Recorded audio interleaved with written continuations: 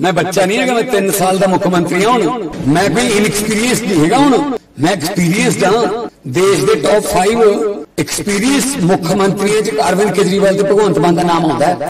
Speaker ਸਾਹਿਬ NOC ਬਸ ਐਨਾ ਕਰ ਇਹ ਜੋ ਮਰਜ਼ੀ ਬੋਲੀ ਜਾਓ, ਮੁੱਖ ਬਿੰਦੂ, ਪਾਪਰਾ ਐਕਟ ਲੋਕਾਂ ਨੂੰ ਸਿਰਫ ਇੰਨਾ ਸਮਝ ਆਉਂਦਾ ਜੇ ਅਸੀਂ ਪਲਾਟ ਲਿਆ ਸੀਗਾ ਮੇਰਾ ਬਾਪੂ ਰਿਟਾਇਰ ਹੋਇਆ ਸੀਗਾ। ਜਿੰਨੇ ਪੈਸੇ ਮਿਲੇ ਸੀ, ਫਲਾਨੀ ਕਲੋਨੀ ਚ ਲਾਤੇ, ਬਾਅਦ ਚ ਪਤਾ ਲੱਗਿਆ ਕਲੋਨੀ ਇਲੀਗਲ ਆ। ਉਹਦਾ ਕਲੋਨੀ ਕੋਈ ਲੀਡਰ ਸੀਗਾ, ਜਾਂ ਲੀਡਰ ਦੀ ਸ਼ਹਿ ਨਾਲ ਸੀ ਬੰਦਾ, ਉਹ ਕਲੋਨੀ ਕੱਟ ਕੇ ਚਲਾ ਗਿਆ ਜੀ। ਬਾਅਦ ਦੇ ਵਿੱਚ ਜਦੋਂ ਉਸ ਕਲੋਨੀ ਵਾਸਤੇ ਮੀਟਰ ਲਵਾਉਣ ਗਏ ਤਾਂ ਕਹਿੰਦੇ ਤਾਂ ਕਲੋਨੀ ਇਲੀਗਲ ਹੈ ਜਦੋਂ ਸੀਵਰੇਜ ਦਾ ਪਾਣੀ ਦੀ ਗੱਲ ਕੀਤੀ, ਕਹਿੰਦੇ ਕਲੋਨੀ ਇਲੀਗਲ ਹੈ ਜਦੋਂ ਲਾਈਟਾਂ ਦੀ ਗੱਲ ਕਹਿੰਦੇ ਕਲੋਨੀ ਇਲੀਗਲ ਹੈ ਕਹਿੰਦੇ ਜੀ, ਸਾਡੇ ਪੈਸੇ ਤਾਂ ਲੀਗਲ ਸੀਗੇ। ਸਾਡੇ ਪੈਸੇ ਤਾਂ ਨਕਲੀ ਨਹੀਂ ਸੀ ਨਾ, ਜੇ ਕਲੋਨੀ ਨਕਲੀ ਹੈ ਅਸੀਂ ਕਿੱਥੇ ਪੈਸੇ ਲਾਤੇ ਫਿਰ? ਬੰਦੇ ਨਾਲ ਗੱਲ ਕਰੋ। ਉਹ ਬੰਦਾ ਕੀ ਕਰਦਾ ਸੀਗਾ ਜੀ? ਮੇਰੇ ਕੋਲ ਰਿਕਾਰਡ ਪਏ ਉਹ ਬੰਦਾ ਲੀਡਰਾਂ ਦੇ ਗੱਲ ਪਾ ਜਾਂਦਾ ਸੀਗਾ ਜੀ। ਕਲੋਨੀ ਵਾਲਿਆਂ ਨੂੰ ਵੀ, ਉਹਨਾਂ ਤੋਂ ਕਰਾ ਲਓ। ਵੋਟਾਂ ਵੇਲੇ।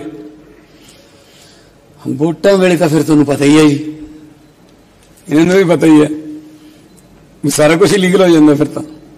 ਕਿਵੇਂ ਐ, ਕਿਵੇਂ ਹੋ ਗਈ ਲੀਗਲ ਅਸੀਂ ਕਰਾ ਦਾਂਗੇ ਲੀਗਲ ਐ ਕੰਮ ਚੱਲਦਾ ਰਿਹਾ ਜਨਾਬ। ਮੇਰੇ ਕੋਲੇ ਤਿੰਨ, ਮੈਂ ਜਦੋਂ ਇਹ ਫੈਸਲਾ ਕਰਨਾ ਸੀ, ਮੈਂ ਕੋਈ ਐ, ਕੋਈ ਮੈਂ ਬੱਚਾ ਨਹੀਂ ਹੈਗਾ ਮੈਂ 3 ਸਾਲ ਦਾ ਮੁੱਖ ਮੰਤਰੀ ਹਾਂ ਹੁਣ। ਐਲਓਪੀ ਸਾਹਿਬ ਸੁਣ ਲਿਓ। ਮੈਂ ਕੋਈ ਇਨਐਕਸਪੀਰੀਅੰਸ ਨਹੀਂ ਹੈਗਾ ਹੁਣ। ਮੈਂ ਐਕਸਪੀਰੀਅੰਸਡ ਹਾਂ। ਦੇਸ਼ ਦੇ ਟੌਪ 5 ਐਕਸਪੀਰੀਅੰਸ ਮੁੱਖ ਮੰਤਰੀਆਂ ਚ ਅਰਵਿੰਦ ਕੇਜਰੀਵਾਲ ਤੇ ਭਗਵੰਤ ਮਾਨ ਦਾ ਨਾਮ ਆਉਂਦਾ ਹੈ। ਐਵੇਂ ਨਾ ਐਵੇਂ ਨਾ ਸਮਝਿਆ ਕਰੋ ਤੂੰ ਚੱਲ ਓਏ ਤੂੰ ਕੀ ਹੋਇਆ ਇਹ ਥੋੜੀਆਂ ਕੀਤਾ। ਇਹਦਾ ਮੈਂ ਕੁਝ ਨਹੀਂ ਕਰ ਸਕਦਾ। ਇਹਦਾ ਮੈਂ ਕੁਝ ਨਹੀਂ ਕਰ ਸਕਦਾ। ਜਿਹੜੇ ਨਹੀਂ ਬਣ ਸਕੇ ਮੈਂ ਕੀ ਕਰਾਂ ਜੀ ਉਹਨਾਂ ਦਾ? ਉਹ ਬਣ ਵੀ ਨਹੀਂ ਸਕਦੇ, ਸਰ ਪਜਾਮੀਆਂ ਹੀ ਰਹਿ ਜਾਣਗੀਆਂ ਬਸ।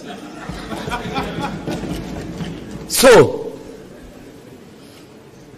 ਗੱਲ ਕੀ, ਮੈਂ ਇਲੀਗਲ ਕਲੋਨੀਆਂ ਕੱਟਤੀਆਂ ਲੀਡਰਾਂ ਦੇ ਗੱਲ ਪਾ ਕੇ, ਅਗਲੀ ਵਾਰ ਫੇਰ ਪਾ ਕੇ ਫੇਰ ਪਾ ਕੇ।